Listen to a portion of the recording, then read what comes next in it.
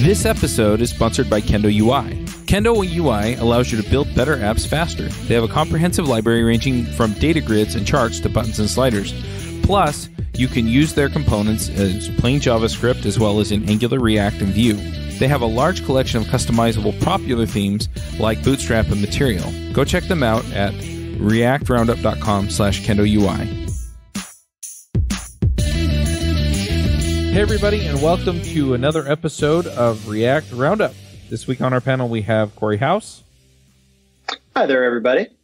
Nader Dabit. Hello. I'm Charles Max Wood from devchat.tv. And this week we have a special guest, and that's Juho. I'll try not to completely slaughter your last name. Uh, Vepsalainen.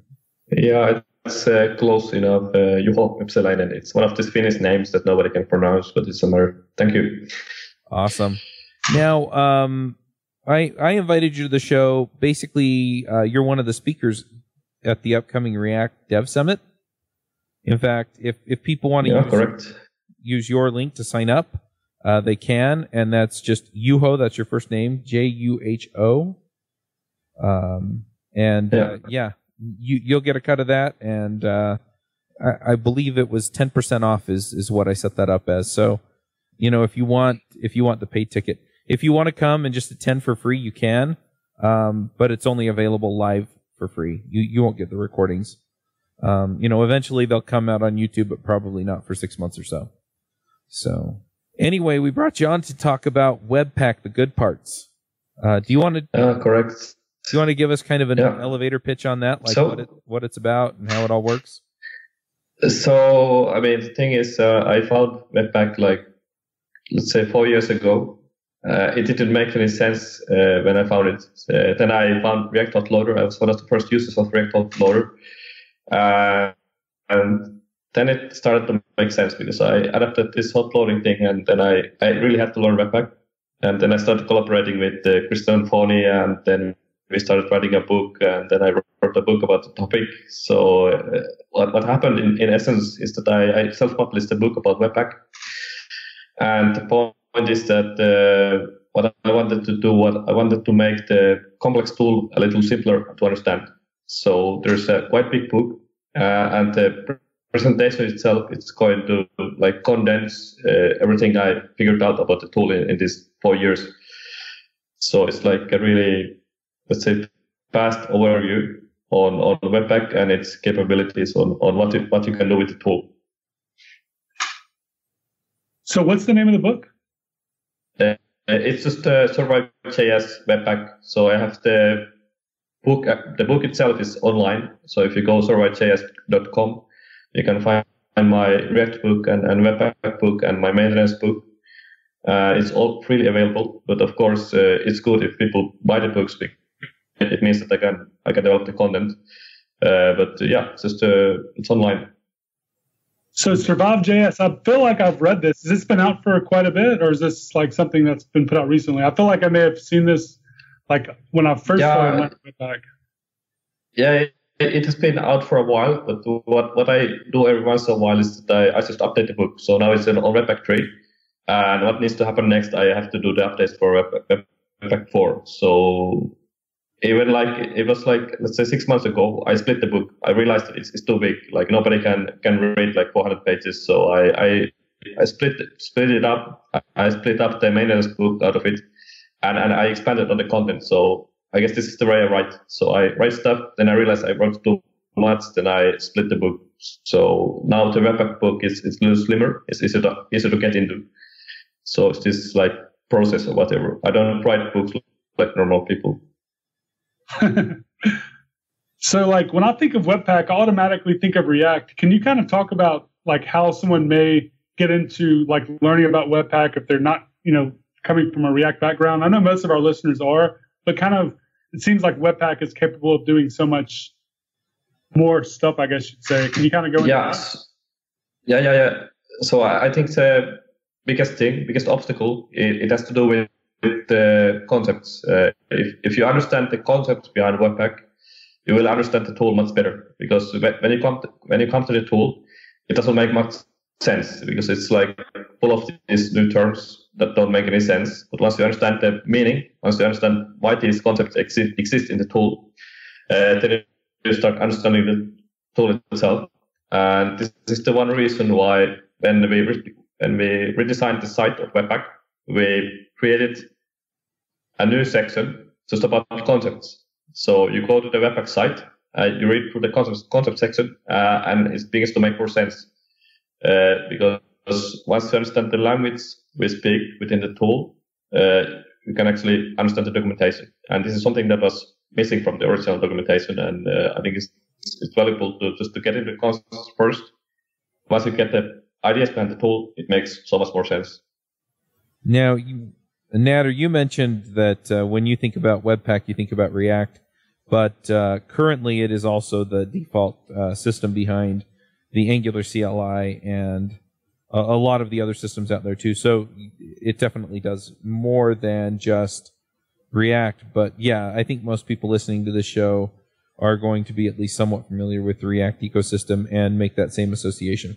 Yeah, yeah, that's true. But uh, I mean, uh, it, it's not coupled with React. It just right. happened that uh, because React got popular, Webpack got popular in the in the process, and because Webpack got popular, then other other tools, I mean, other frameworks and everything, they just adopted Webpack because it became popular. So it's this this cycle. So you get popular in some domain, and then others notice, oh, there's this great tool. Let's let's use this. So it's like, uh, yeah. So React, let's say React popularized, React made Webpack really popular.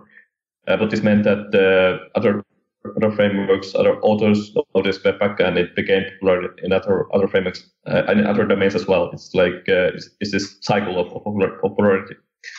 Yeah, right. Just basically riding the wave, riding the wave. But I guess I, I do have another question when it comes down to what you mentioned earlier. You mentioned that your book has like 400 pages. Has Webpack gotten so like large of a thing that there needs to be like 400 pages worth of information just to learn Webpack.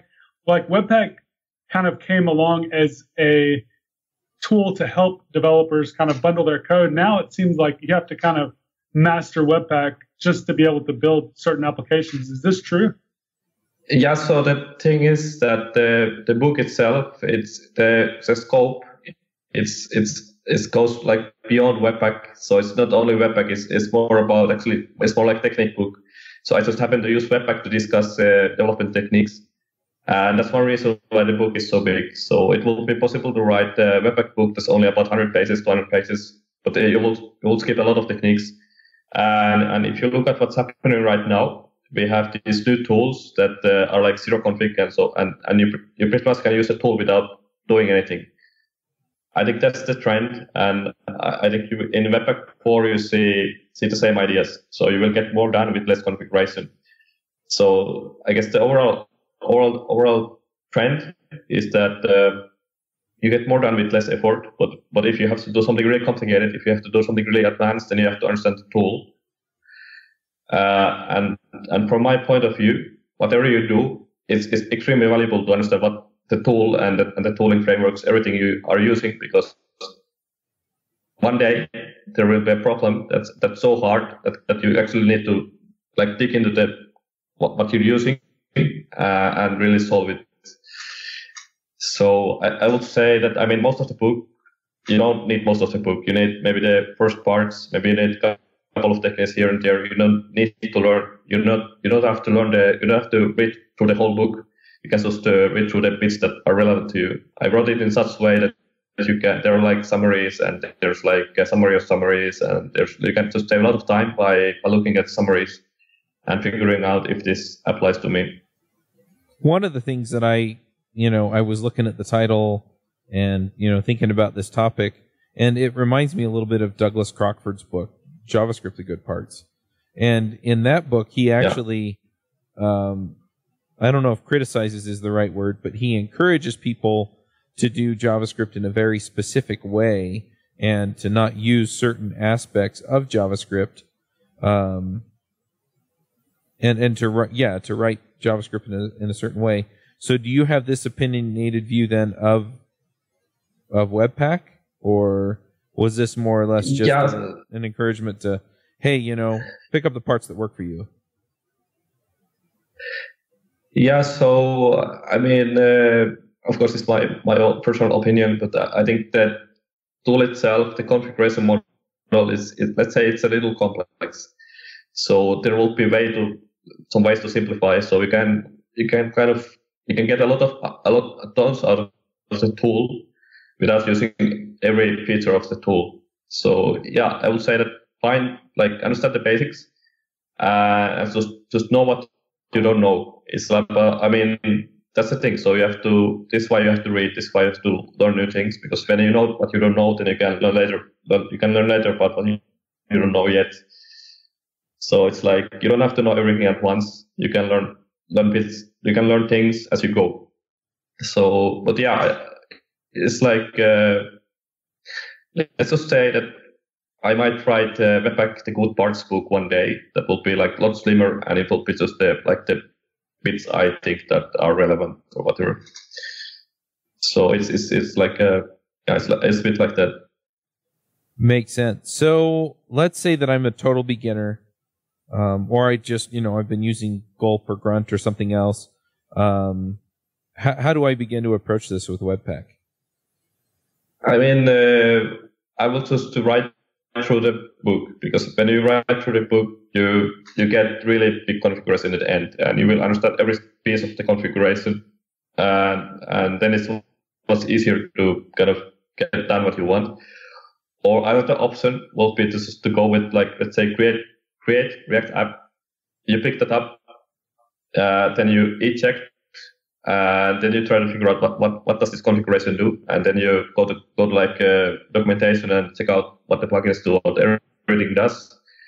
Because uh, at least in the past, the problem was that people they people took like boiler, boilerplate, so they they take boilerplate, they fork the boilerplate, then they develop for a while, then they notice that they need this and that, and now you get this problem because now you have to understand what what's this webpack configuration about. So it's like, like at some point you have to just you have to learn it if you're using it. So, but uh, yeah, I would just say write through the book and you will get it at, on on some level. So you also mentioned though that there were going to be like new updates in a new version that reduces the amount of configuration that you need to write. Is this going to like change the philosophy behind Webpack as far as kind of some of the stuff that's already been put out there? Um, is it going to be still backwards compatible? And also, like you mentioned that a lot of the stuff again is going to be pre-configured, but I'm assuming you can still kind of go in and do a lot of the more sophisticated things with Webpack. Yeah. So let's say we have this uh, like new tool, uh, Parcel, that's uh, that's zero zero configuration. So you can use Parcel without writing huge amount of configuration, and and it this means that it it put it puts some pressure on Webpack to do more or less the same. So this means you can do more more things out of the box, uh, and you get better configuration out, of the box. One thing to note is that uh, that it, uh, up to Webpack Webpack 3 we had this common JS plugin. Uh, no, no, common uh, common plugin. Uh, what I mean is common stack plugin is is a plugin that you use to extract commonalities between between chunks, uh, and it's it gets a little complex to explain and complex to understand. So for this reason, we have something automated in Webpack 4. So with these incremental updates that that make like things that were complex in the past simpler in the future. So we get like these little updates that improve the user experience a lot. So I think it's, it's, it's very good, very good for, for Webpack to have some pressure out from the outside. Because when you have pressure, it means that the tool itself has to evolve and become, become like, it has to serve its users better. And I think that's, that's a great thing. Yeah, I think it'll be a lot better for people that are kind of coming into the JavaScript ecosystem in general. It'll be just one less thing to worry about. So as far as long as this tooling continues to evolve and become easier to use, it's definitely a good thing. And I really agree with the innovation going on everywhere. It's good. I really I'm, I'm glad to hear that Webpack is picking up some of that, some of those ideas. You know, because people they they latch on to these ideas and they start you know uh, coming up with their own things. And a lot of times it's it's awesome to have all this innovation, but at the same time, if there's been a single project that everyone is kind of agreed upon. It's also good to kind of have a single place or a single like maybe main way of doing things because JavaScript doesn't really seem to have that these days in a lot of ways. We'll have like a hundred different ways to do something, which is good and bad. Good in the sense that there's a lot of innovation, but bad in the sense that all of these like great minds are not converging onto one project. Yeah, and I don't think that there's no shame in using old old projects. Like uh, today, I work with a project that uses Grunt, and I mean I don't have any pressure to update that to Rollup or or or, or Webpack or whatever. I'm I'm happy to keep the project in Grunt because Grunt does the job.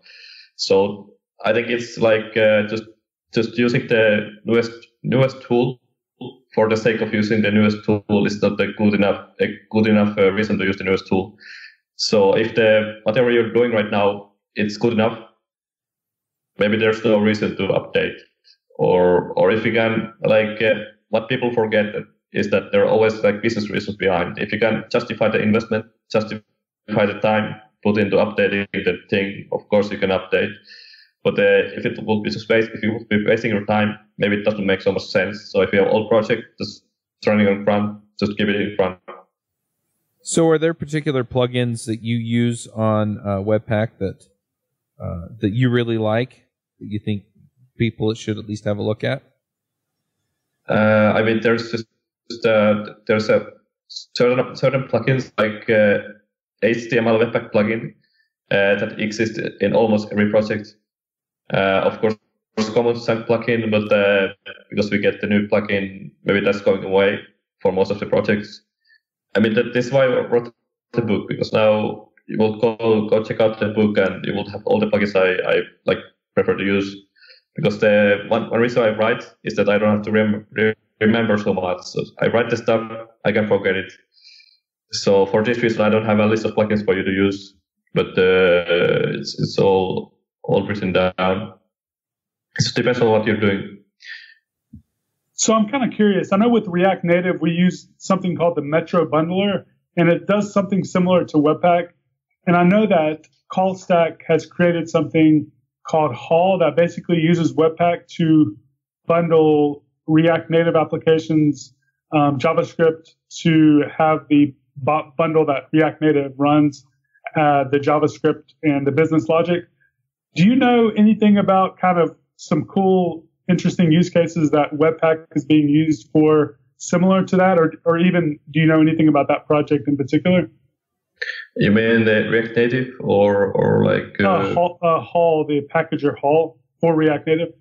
Uh, yeah, I mean, I, I, just know that there was some some uh, some let's say issue in the past, some some discussion about in the past that maybe we should use Webpack to bundle React Native. My understanding it, is that it never went anywhere. So React Native and Webpack, they're not, not I mean, my understanding is that they're not so compatible. So that's why we have this Metro and, and whatever. So it's like uh, like a dead end at the moment. Uh, maybe just I don't know. It's the is from from from my point of view, it's it's interesting that Metro itself, it's like a full blown bundler. It's it's like bundler that maybe could do more than just, but it's not like marketed as such. So Facebook doesn't market Metro as something that can do more than just React Native. But I don't know. It's just uh, maybe this is the conscious decision they made so, but I guess React Native. That yeah. Yeah, I guess yeah. also I was kind of wondering, do you know of any projects like outside of the React and Angular ecosystem, I guess, that are using React, I mean, they're using Webpack, or do you know any interesting like use cases that people are using Webpack for that may just um, kind of spark some ideas in some of our listeners, maybe ways that they can use Webpack? Well, I, I can give you one really concrete example. So what I'm actually doing right now, I, I don't know if it's very smart, but I, I decided uh, with some friends, like last August, it started as a joke. But we decided that we want a React conference in Finland. And what I, because I, you know, I do some Webpack work and stuff. So I, I have uh, a site generator based on Webpack and React. So what I essentially do, I use Webpack and React to generate the conference site. And as it happens, it is it's very powerful combination. I mean, you have popular solutions like Gatsby. My my solution it's it's like completely different approach. I just get static output, but uh, I think like that that's one niche. That's one niche where Webpack is very powerful because when you combine Webpack with static site generation, this means that you can get like entire power of Webpack for this task. So you can do image manipulation and every every single thing that Webpack can do in in a static site generation context, which is extremely valuable.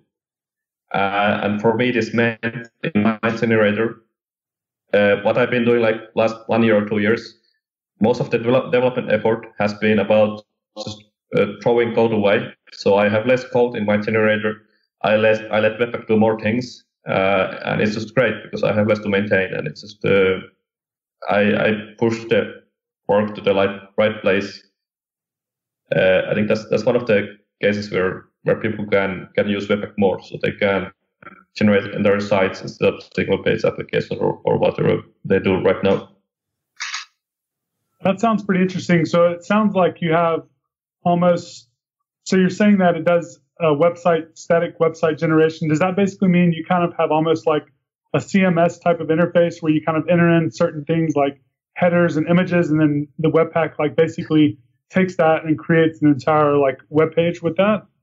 Yeah, correct, correct. So this is where I kind of went my own way. I designed architecture based on on GraphQL. So what actually happened is that I have a content repository on GitHub, and this my GitHub is my CMS. So I modify the content over over GitHub, and this content it gets mapped to the content gets mapped to GraphQL API. And when I generate the site, it consumes the GraphQL API. So I, I have to stick, I have to decouple the site layout from the content. I manage the content through GitHub. Uh, in the future, I might make like, uh, let's say you go to the site and I, I write a Chrome plugin and I, have like inline edit. So you decide that I want to edit this text here and you, you like double click or whatever and you get the inline edit. It goes through the GraphQL updates the GitHub repository, the content repository, and this goes to the API this updates the site. So I could, in essence, I could do very integrated like editing uh, for for like the, very kind of great great workflow that's integrated to the site with very little effort because I have this nice architecture in place where I have content repository and I have GraphQL and then I have the site generator and so, so on and so on and it all goes together. So it's just uh, it's amazing what you can do these days with very little effort. That sounds pretty cool. I would love to see how you actually did that. Is that code available anywhere, or is that something that you kind of haven't open sourced or anything? Yeah, yeah. So yeah, I mean the the code code itself exists uh, online. Uh, what I'm actually missing is like uh, just tiny bit of coding, uh, Chrome plugin. But uh, I will I will link you. I will give you some links which you can study because I, I think the architecture itself is, is quite quite valuable uh, and and good to study because uh, the way I see it is that if you think about uh, like static site generators, if you think about CMS systems, uh, there's like a very big overlap. And what's happening right now is that we see that static site generators they are becoming not so static anymore. So we right. get like something that's more like CMS experience and I think this is great. It's, it's just absolutely great. Corey, you've been pretty quiet. Do you have any questions? Yeah, I was I was just thinking about where I am on Webpack right now and how I went from being somebody who was deep into it and using it all the time to being someone now who uh, largely just tweaks existing systems and maybe that's just a statement about the maturity of, of the things that I'm working on right now. But I'm thinking about how, to some degree, we're in a world where there's a decreasing need to be a Webpack expert because there is Angular CLI, there's Create React App, there's Vue CLI. So there are these good tools that use Webpack behind the scenes that really take the pressure off of somebody needing to know Webpack well. Um, for those sorts of stories, do you think that it still makes sense for somebody to learn Webpack and what are the sorts of things that you'd expect them to be doing in those cases? For you, the listeners of Ruby Rogues, Loot Crate is offering an opportunity to save 10% on any new subscription at lootcrate.com. Just enter the promo code BRIDGE10 for 10% savings. Loot Crate is one of my favorite things. Every month I get a box in the mail costs less than $20 and it comes with all kinds of goodies. I have stuff from just looking at my shelf Batman, Spider Man, Ninja Turtles, Back to the Future, Lord of the Rings, Star Wars, and much, much more. So if you're a geek, a gamer, anything like that, and you want cool stuff to put around your office, uh, cool t-shirts, comic books, etc., then definitely check out Loot Crate. To save 10% on your new subscription, go to lootcrate.com slash ruby. Again, that's lootcrate.com slash ruby to save 10% on any new subscription. Enter the promo code BRIDGE10 for 10% savings. Yeah, so this is this is this one of the one of my points is that because we get we get new tooling, uh, new abstractions that hide hide uh, Webpack, hide the complexity. It means that uh, you don't have to. I mean, some developers they don't have to understand the tool. But for instance, uh, for instance, uh, like uh, in one workshop, there was this guy. There was this uh, this someone from German, Germany that wanted to. I mean, he, he was using Create React App, and then he did this Create React App eject, and then he went through the configuration and he was like, I don't get it. I don't understand the configuration. So he came to the workshop just to learn what, what, what the configuration does, what, what does it mean, how does it work. So my point is that one day you might have to like go outside of this comfort zone uh, and, and get something else done. And when that day happens, that's when you have to understand the tool. That's when you have, that's when you have to understand all the concepts. That's that's when you have to understand how does this work. And it's like maybe you don't have to get it right now, but maybe you have to get it later. So I would say that the understanding is valuable, but uh, but uh, at the moment you you don't have to like get it right now. Maybe you can postpone it and get it later. I I tend to agree. I, I like the idea of understanding the underlying tool. But yeah, if Create React, React app will actually manage all the configuration for me and I don't ever have to think about it, then, you know, I can spend the time on learning other features of React or other libraries that are going to help me actually build features in, which is what my boss cares about. Um, the other thing that's interesting is, um, and, and, I keep bringing in information from Angular because I'm pretty hooked into that community, but uh, Mike Brocchi, who wrote the Angular CLI. Um, I had a conversation with him and with uh, Brad Green, who's the team lead over there. And Angular CLI is actually going to be moving over to Google system Bazel. And what they're telling me is if you haven't ejected from the CLI, um, it's going to be seamless. Like you won't even know that it switched build systems. And I'm assuming that Create React, React App and some of these others are pretty similar in that respect. So if Webpack isn't serving the need, or they find something that interfaces more nicely with the command line tool, I could complete. I could see people completely replacing uh, Webpack without even realizing that they're replacing Webpack because they just run their build through the command line tool. Yeah, yeah, sure. Uh, it's, it's, a bit like uh, if you think about uh, Linux distributions. So when you have a Linux distribution, you have operating system and it has these little bits and you have a distribution that uses different bits. So it's like you have this layer or this cell around the bits that actually do the work. So it's just uh, natural that this happens. So, what do you think is the uh, future of Webpack then? I mean, we, you already alluded to Webpack has seen uh, what the comp- competition is doing and recognized that the configuration overhead is significant. So, having better defaults makes a lot of sense. What else do you see on the horizon that's uh, interesting and worth getting excited about? Yeah, I mean that's that's very very good question. I I don't have like one clear answer. The thing is that uh, at the moment Webpack is it's very well well funded, so it's not about money. Uh, it's more about like how to, where to put the development effort. Uh, and uh, one of the nice things about the project is that we have a voting page uh, if you go webpackjs.org slash vote, you can find uh, what are the features that the community wants, what are the most popular features. So, so this is the page that pretty much tells the future of Webpack because it, it guides the development. It tells where to put the focus. And just based on this page, uh, there's like huge demand on better ca- caching, so so that you get something like uh, faster builds and so on.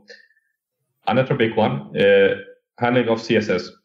So in the past, uh, up to Webpack, Webpack 3, Webpack treats everything as as a JavaScript module. Everything is like like normal JS, and this is very pro- problematic when it comes to CSS. And this is something that will eventually change with Webpack 4. Not in the first version, most likely, but uh, eventually it will change so that uh, Webpack does the right thing with CSS out of the box without huge amount of configuration that you have to understand. So we will get the better usability, uh, and and just uh, and of course it's going to be faster. Uh, I think it's like uh, it it uh, more or less does the basic, basic thing right. So now it's more about working on the edges, roughening the edges, making the edges of Webpack a little less sharp, so people can. It's just to make it a little easier for people and make maybe make it faster for people because it matters. Good stuff. Yep. So, do you have uh, some favorite resources besides your book, obviously, that uh, you would recommend to people who want to dig a little deeper into Webpack? or maybe a good video series or course or something like that? Uh, yeah, the thing is, uh, because I don't have to learn Webpack, so I I really don't have to watch videos anymore. I, am certain lots of theories. Uh, I think the Webpack configuration, Webpack documentation itself, it, it, it goes beyond beyond the book. Uh, there's tons of stuff, uh, and I'm, I'm sure if you dig a bit, you will find other books and, and like things like that so yeah, I cannot like give you one direction. It's more about do a little research, find something that works for you because it's like sometimes what happens is you find find some resource and it's kind of it's begins to make sense. It's, it's written or it, it's, it has been in it has been done in such a way that resonates with you. So that then is a good good one for you. But uh, yeah, just uh, check out some stuff you can find online and, and see what works for you. It's more like uh, more like that. That makes. I know sense. that you mentioned um, something about you all were very well funded. Now, can you kind of go into more about how all of that works, just out of curiosity? Yeah. So essentially, at, at the moment, uh, Webpack is funded by the community. So we, we run this uh, open collective uh, thing here, opencollective.com slash webpack. And the way this works is that the companies or individuals that want to support the project, they can they can give certain amount of money per month to the project.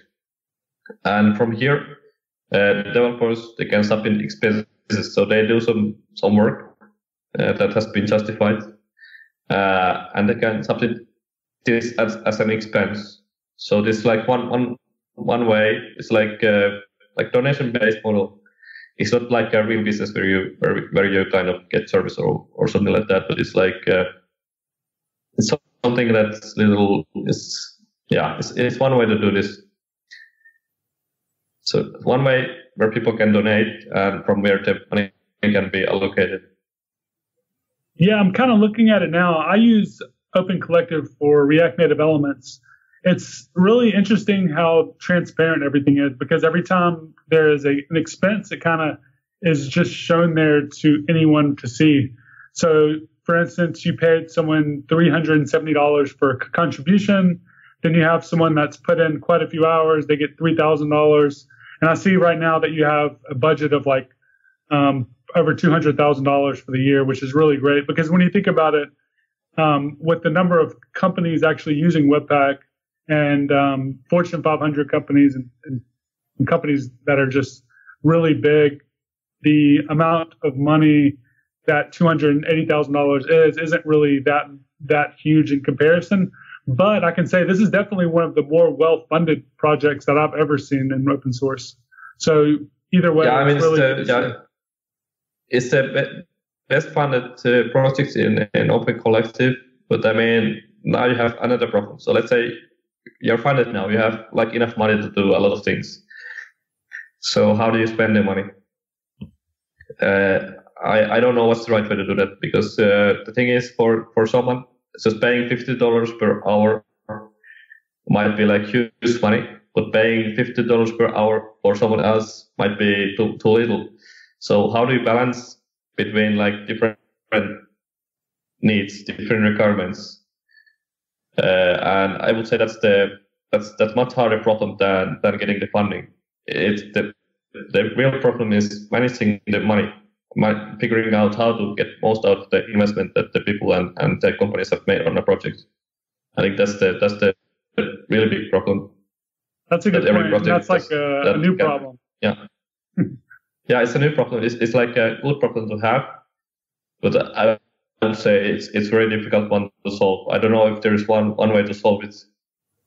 I will say it's a interesting turn, though, to hear you say that uh, money isn't an issue because it wasn't long ago that it was the biggest problem on Webpack. So I'm just glad to see that funding's uh, finally arrived, and I'm also just glad to see that the community has rallied around this tool. There's a lot of agreement that this is a place that it's worth uh, putting a lot of effort because uh, I think that's that's going to give us maturity, and that's part of what I find interesting too. Is as a developer today, uh, I'm spending a lot less time with JavaScript fatigue and configuration pain than I did even just a year ago. So we've we've matured a lot in a short time, and part of that has been from uh, largely the community deciding that Webpack was worth standardizing on. Yeah, one other thing that I would add as far as like Open Collective and supporting um, different packages um, is that Webpack's one of those ones that you either use a command line tool um, or it's front of mind because you're configuring it yourself. But there are other utilities also on Open Collective that uh, you know that we should also be looking at, making sure that we're backing those up. Some of those are going to be some of these Webpack plugins that we're not thinking about, or Babel, uh, which is used to compile your ES6 or things like that. Um, you know, just uh, don't just focus on the the top level tool, but you know, if there's a layer or two deep that, that you're using um, you know, make sure that you're you're paying attention to that, and that those are also getting funding. Because um, I mean, imagine how tough our life would be if, you know, I, am using Babel as an example, but you know, if Babel went away, then what? Um, you know, or it didn't get funding, and so we didn't have as many of the nice features that we tend to have in it. Um, so, so go look at some of the other projects that you use, some of the other plugins for systems like um, Webpack, and make sure that those are getting supported as well. Yeah, but, but the, uh, one question is that the, should support? Because uh, I, I will I would say it's the companies companies using using the tools because they're making their profit out of the using the tools. So instead of blaming developers, I will what I would like to do. I would like to give like let's say one percent budget for a lot of for companies to use on open source. So put one one percent in the project you're using or in, in the projects you're using in your work. Because that one percent it's going to pay off because it means that the tools, the libraries you're using, they will get developed, they will get maintenance, they will get attention. And this in turn can generate more profits for you. So if you put some money back into the community, there's it's, it's likely that you will get get some uh, some outcome out of that. Of course, how do you how do you how do you measure the return on investment? How do you how can you tell that the money made difference? I don't know how to do that, but uh, I would say that it will be it will be very good practice if companies did this. If you put one percent out of your profit back into the community, you will make it a lot better. Well, and it's not just return on investment. I mean, th- this is development work that people have put in for free or close to free that uh, yeah. that you've you're already benefiting from. And so, I mean, yeah, the other model true, is yeah. the other model is okay. I'm going to go build this utility, and you pay me to use it. And you know that's not the wrong model either. But you know, considering what it would probably cost if it were proprietary software, um, you know, making that payment, I think, yeah. is well worth it. Yeah, I mean that's the thing. So so someone someone somewhere is going to pay for the maintenance. Someone is going to use their time to maintain the tool or library, whatever you're using. And that's one thing. You can decide I'm going to maintain this myself. I'm going to pay my developers to maintain it. But then over time, you know, notice that you're doing something that's outside of your core business. So maybe it makes sense to use the same money elsewhere. So it's a bit like that. Yep. I've had long talks about uh, sustainability with uh, a good friend of mine, Eric Berry, who's the guy behind CodeSponsor.io, and uh, so yeah. yeah. these are all things that uh, that we you know get talked about. I think more than they really get solved. So I'm I'm I'm I, I have an interest in making sure that we're all paying attention to this and making sure that you know this work is actually supported and appreciated. Right. And it's super yeah. interesting now with Open Collective because it's the first way that I've seen, at least, where like there's been a platform that's kind of actually made sense. We use React Native elements again on, on Open Collective, and we have um, now like bounties on our actual project where we're like, hey, someone that wants to do this can get this much money. And then they go in and they submit a pull request and we pay them the money. Um, and it's actually worked out really great. But I do still see the, the issue, and I'm sure this is kind of just going to always be an issue to some extent, but maybe it can be kind of um, taken care of or, or managed better in the future, or something will come along that will help this out. It seems like like certain projects get an un like usual amount of attention versus other projects, and th- and some of those projects have like much more money than other projects. And I'm not calling out Webpack in any way. I'm just saying in general. Um, and it seems like a lot of that has to do with the people running the project. How good are they getting the word out? Like mm. almost like marketing or something like that. So I think like in the future, it would be interesting to see if someone or if or if maybe Open Collective can help address that for some of these communities because these people are spending all this time building. They don't have enough time to actually go around like you know making the case for people to contribute um, or maybe that'll just happen organically with people as contributing back to open source financially becomes more of a normal thing that, that people start doing. We'll see. Yeah, yeah, I, I think it's it's important to to separate uh, like like uh, like let's say I have hobbyist projects. So let's say I have a project somewhere, I have something on GitHub, I'm doing for fun. It's like a more like hobby for me. I, I'm doing it because I like to do it. I'm not doing it for it for money. Uh, and let's say it's like one way to do open source. And another, another way will be like, let's do like really commercial open source. Let's do like, let this, let, let's do this thing for money. Let's, let's do it so that we can make a living out of it. So you have completely different mindset because I mean, of course, there's some overlap. Doing something commercial can be fun, but uh, it's like uh, when you're doing something for fun, you just do it when you feel like it. But when you have something commercial, something that has commercial constraints, then you have deadlines, you have clients waiting, you have people waiting for your work. So it's completely different pressures. So it's, it's, it's just one, one uh, dimension to think about. Well, the other thing. So what I mean is that, yeah. The other thing to keep well, in mind, was, though, is that I know plenty of people who have started it out as a as a hobby, and then a bunch of people started using it, and then it turned into a job. Yes, correct. So you can go from from a hobby project to something commercial, but it's it's super hard to go back. So once you have made something super serious and you have clients waiting, you cannot make it. You really cannot make it hobby anymore. So it's like uh, it's like one way street. Yep. Well, we've kind of gone off on a tangent here. Is there any other aspect of uh, Webpack that we want to dive into before we get to picks?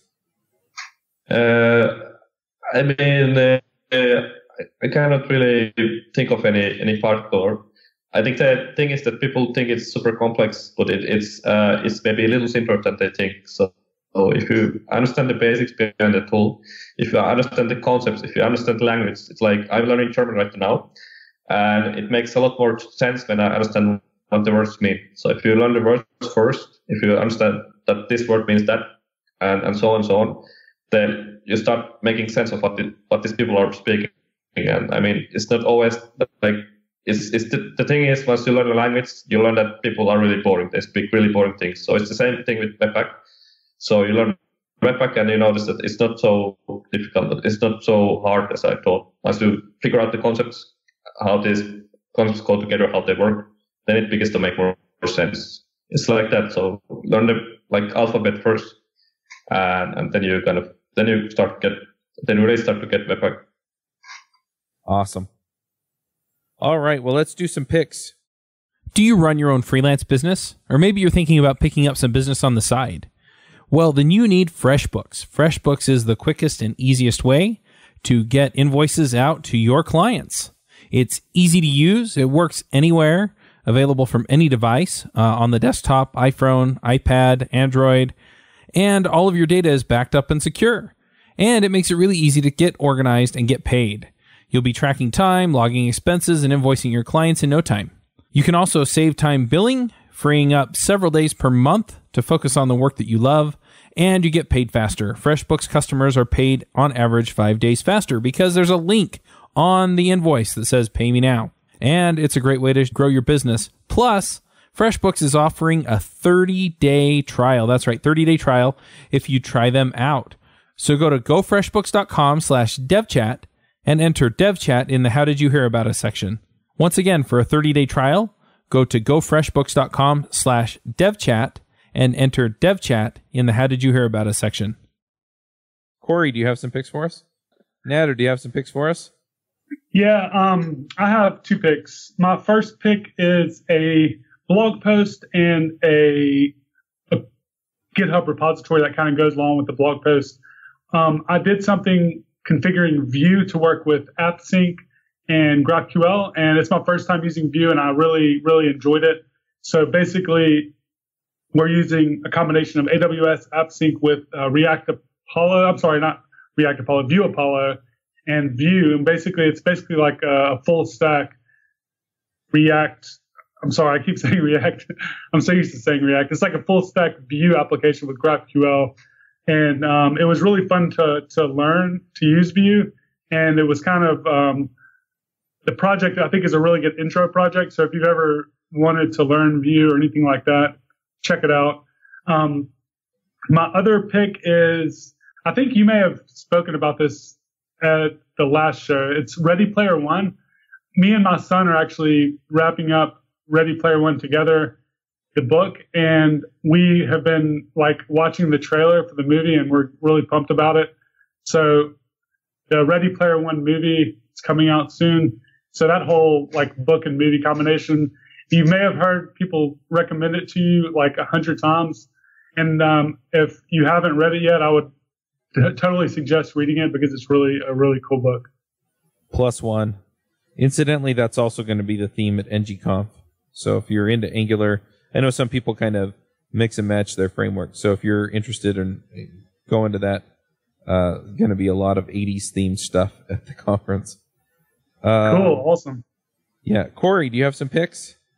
Yeah, I have a pick. Uh, so I listen to a lot of podcasts as well as being on a few, but uh, one that I listened to recently that I really enjoyed was uh, by the Knowledge Project, or I should say that's the name of the podcast is the Knowledge Project, and they had uh, Naval Ravikant on there, and Naval shared so much wisdom in two hours. I listened to it twice uh, within a few days of each other and took so many notes. So uh, I'll share the link. Uh, it's it's two hours, well worth listening to. One of the best podcasts I've heard, just for uh, really life wisdom, business advice, uh, all sorts of good stuff there. So that's my pick.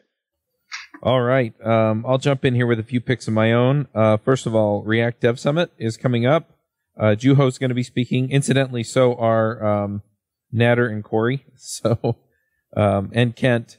Uh, the only person on this panel I haven't gotten a commitment from, and she's on vacation, is Tara. So, um, anyway, it's going to be terrific. Uh, use uh, Juho's code. That's uh, J U H O to get 10% off. And uh, yeah, um, really appreciate all the people who are willing to speak at it. Also, uh, on top of Nader's pick, um, if you're interested in Vue, we have started a Vue podcast. Um, that's viewsonvue.com. So I'm going to pick that as well. And um, yeah, the the last pick that I have, I've been listening to this book, and it's uh, it's a parenting book that shows what what uh, stage of life I'm in, right? Um, but uh, anyway, kids are hard sometimes. You know, it's you spend time with them and you know you do all the things that you know that you ought to do as a parent but sometimes they're still hard. And so um, yeah i picked up this book. It's called the whole brain child. Um, and it is terrific. And so I, I'm I'm trying to implement some of the stuff that I'm learning there, and uh, you know, learning a ton. So uh, I, I'm going to pick that, and then lastly, um, I've become aware that some of our listeners are not necessarily this show when I say our listeners because this show's new, um, but you know of the podcast that we put out at devchat.tv in general are entrepreneurs, and uh, I just want to shout out about my business coach. Um, his name's Scott Beebe. Um, you can find him at businessonpurpose.com, and uh, he has been a huge help for standardizing a lot of the processes and things around the podcasts. And so if you're if you're looking for a good resource to help you kind of level up your business, um, he's terrific. So I'm gonna pick him as well. Juho, do you have some picks for us? Yeah, I have one pick. Uh, cham cham stack. Cham like the thing you eat stack.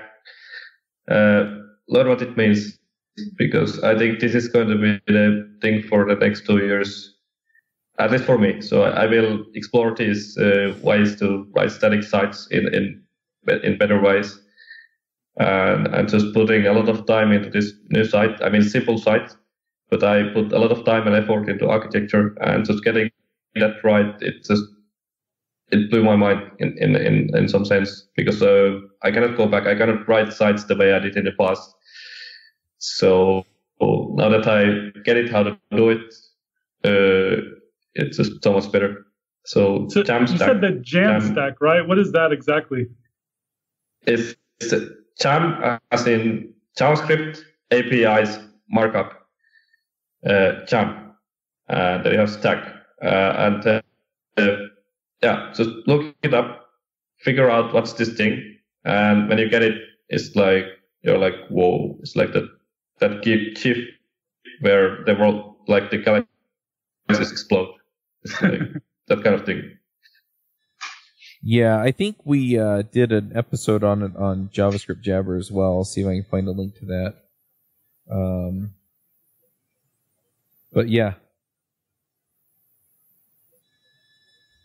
All right. Well, uh, Juho, if people want to pick up your book or, you know, if they want to just uh, stay in touch with you, you know, maybe Twitter or GitHub or a blog, where, where do they go for any of that stuff? Yeah. So I have this book site, uh, survivejs.com.